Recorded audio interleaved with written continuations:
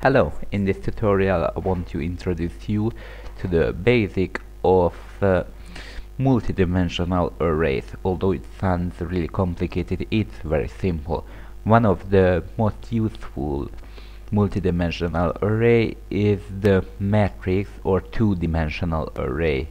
This is very similar to one-dimensional. I show you how you can uh, make it. So int array, so the type and the name of the array and put not one two square brackets. Okay and to put elements in it you want you first put one curly bracket there and one inside it.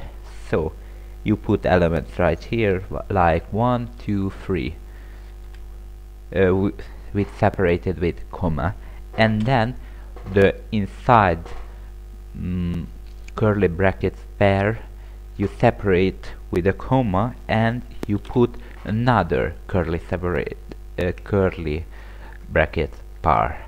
And you write something else here like like other numbers 6 and again with a comma and another curly bracket par this is you will continue this until you think that it is enough.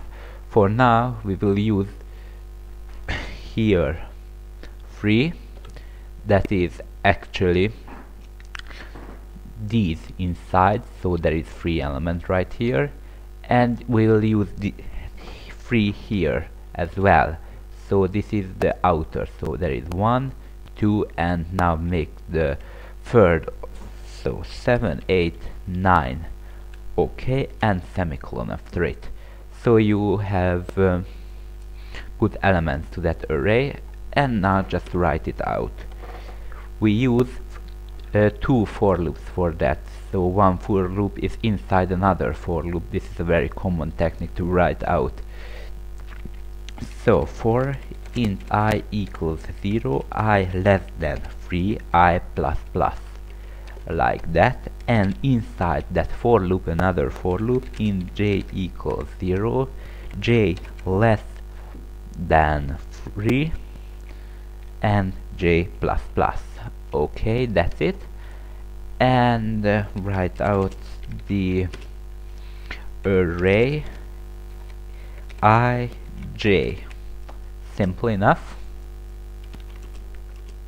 And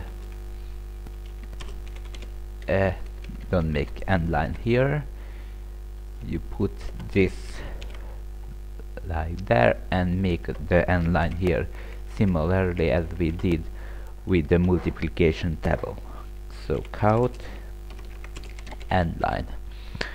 So this will run like first it will be 0 and this will be 0 and this inner for loop goes to to 3 actually to 2 because 3 is not less than 3 and then the outer for loop will increase by 1 then it will run 3 times again and it will be uh, and it will increase again 3 times again.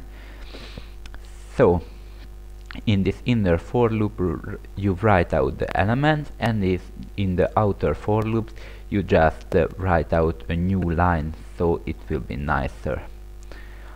Okay actually I think I we can run the program.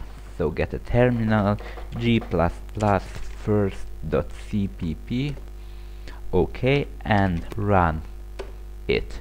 As you can see it gives a table okay then. And actually it is just as simple as that. To handle multi-dimensional array you can even put another so three-dimensional array but it really don't use but it really not used so how can you give this to a function? Let's see. So make a function void write out. There is a little trick here and write it like here. So it is not the same as we did with the, the simple dimensional arrays. So just give the address of the first element. So make it a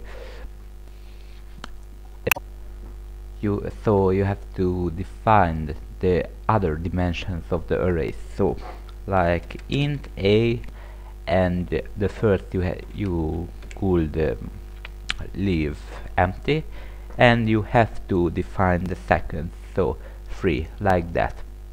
And in the call just write out and pass the array without any modification. So if you just uh, run the program actually compile it first.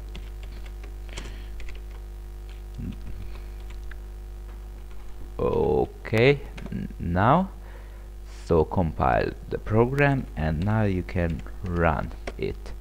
And as you can see it's right out as well. Okay thank you for watching and have a